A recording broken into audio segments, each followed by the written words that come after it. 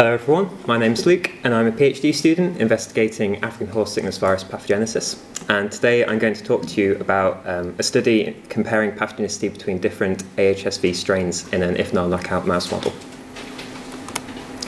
So what is African horse sickness virus? Uh, it's an orbivirus closely related to blue tongue. Uh, it has a double-stranded RNA genome split into 10 segments. Uh, and it's highly lethal in horses, up to 100% mortality. Uh, donkeys and mules are less affected, and it exists as a low-level viremia in zebra.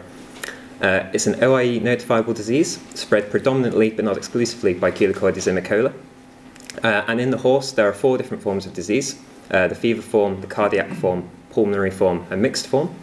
Um, and again, in the horse, the spleen, lungs, and hearts are believed to be the target organs, and there's also evidence of a tropism for endothelial cells and monocyte macrophages.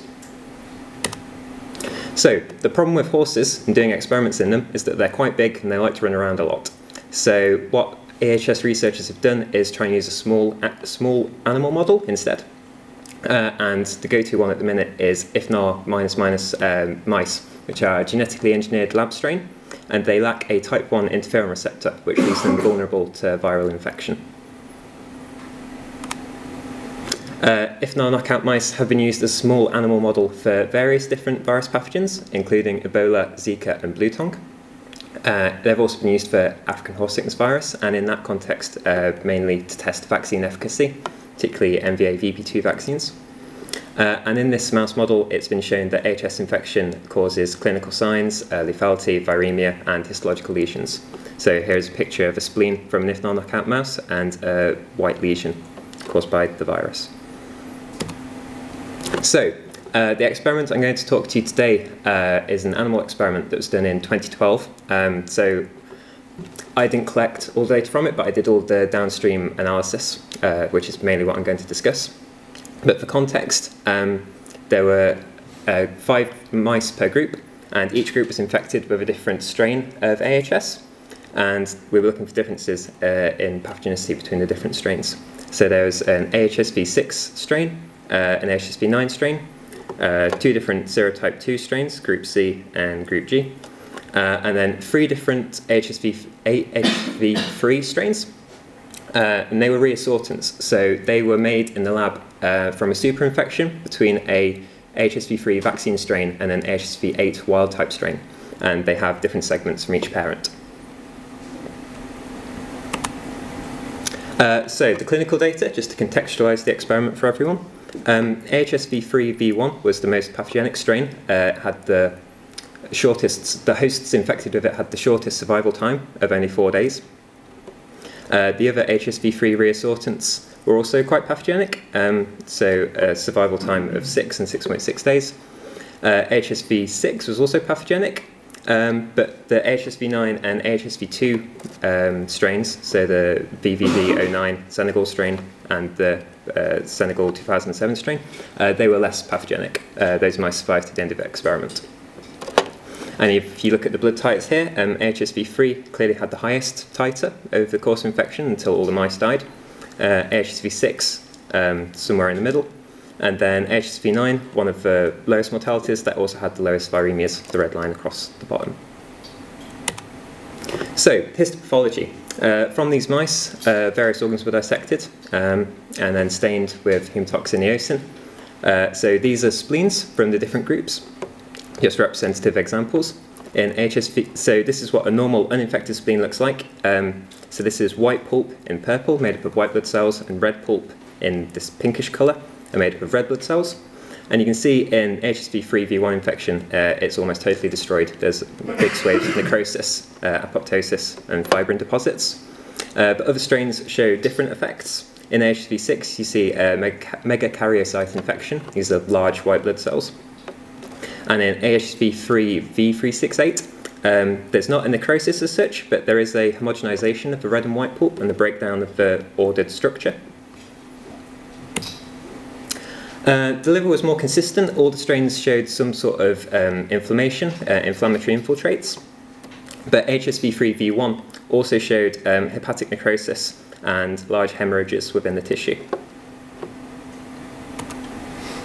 Uh, heart, again, also pretty consistent between the different groups. They all showed myocard myocarditis, which is an inflammation of the heart muscle to a, a significant extent, and they also showed hemorrhaging. Uh, lung was particularly interesting. So most of the strains um, showed edema, which is fluid within the lungs, uh, and that was most and interstitial pneumonia, and that was most severe in HSV3 V1 infection. Uh, and all the strains were also associated with inflammation to some extent. Uh, so you can see here these purple bluish cells, uh, part of an inflammation in a V368 infection. Uh, and the lungs of HSV9 and the HSV2 strains uh, appeared the healthiest. Uh, so this is just a table summarising what I've told you. Um, you can see in red the HSV3 V1 strain has the most severe histopathological lesions, but there are um, severe lesions dotted around the other groups as well. Uh, so next I did some immunofluorescence work in uh, tissues that have been preserved in OCT minus 80 and I labelled them with an anti-VP7 antibody. So VP7 uh, is normally part of the middle of the capsid, but it also forms these large hexagonal crystals in the cell during replication. No one quite knows why, uh, but they're a good target to label because they're big and they show up well. Uh, so I labelled those, DAPI nucleus and cytoskeletal label in red. And we were looking for insight, I was looking for insights into viral tropism and seeing if there's a difference between all these strains. Um, so is going to be tricky with the size of the images in this PowerPoint, but um, in HSV3V1 there was uh, a greater level of BP7 staining, um, a few bits of green here, here, here, and then in the top right of each image, where I can, I've included uh, a zoomed in image of one of the hexagonal crystals. Um, there was, yeah, the spleens in general were quite heavily stained, uh, but there was very little staining in the HSV2 infected spleen and the HSV9 strain infected spleen. Uh, the livers were more consistent, apart from HSV3V1, which again had the highest levels of VP7 staining. Uh, so some down here, some here. um, but yeah, uh, I've also included those inserts. There was some staining in all the different livers. Uh, the heart was an unusual case. So 3V1, which I've been saying to now is the most pathogenic, uh, we didn't see, I didn't see any VP7 staining, or to any great extent. Um, but there, were, there was in the HSV2 strain, which I've been arguing is less pathogenic, so you can see some there on sort of like the edge of the heart tissue. Uh, and again in HSV6 and in HSV3 V78. Uh, kidney, um, again, there was low levels of VP7, VP7 staining across all of the strains, pretty much. And these are some negative control images, uh, just to prove that those green flecks don't show up without the virus. Uh, so this is a graphical summary of what I've just shown you. So I captured images from each tissue infected by each strain, and then calculated the level of staining using ImageJ to identify the areas of positive staining, and working all that out. Uh, so you can see that the spleen is generally the most infected organ in the different groups, uh, and HSV3V1 has the highest levels of staining, both in its spleen and its liver. Uh, V378 uh, is also quite high. Um, this is not an ideal way to present this data. So quantifying things with confocal microscopy is quite difficult. You can't have the laser at a consistent power, so there's an argument uh, that it could be inconsistent in that aspect.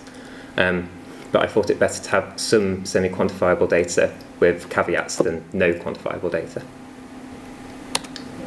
So what can we conclude? Uh, in this if non-knockout mouse model, uh, we can see that these different strains have different biological properties uh, and therefore you can investigate the effects different genes these the different genes within these viruses have on tissue tropism uh, and dissemination and how the host uh, inflammatory response works. In this model, we see that HSV3V1 is the most pathogenic strain. It has the highest mortality rate, the most severe pathology, and the high levels of VP7 staining. Uh, the other HSV3 reassortants are also highly pathogenic, um, but HSV9 uh, that strain Senegal VVV09 and HSV2 were relatively low pathogenicity. Uh, they had low mortality, low viremia, uh, reduced pathology and reduced antigen staining, and HSV6 strain is somewhere in the middle. So to take this further, uh, I'm going to do some sequencing to elucidate what these genetic differences are between the different strains and try and ascribe some of these differences to specific gene segments and specific genetic differences. Uh, I'd like to thank my supervisors, particularly Javier Castillo Alvarez for providing the tissues, Javier Salguero for teaching me about um, histopathology, and Pippa and Jenny for teaching me about confocal microscopy.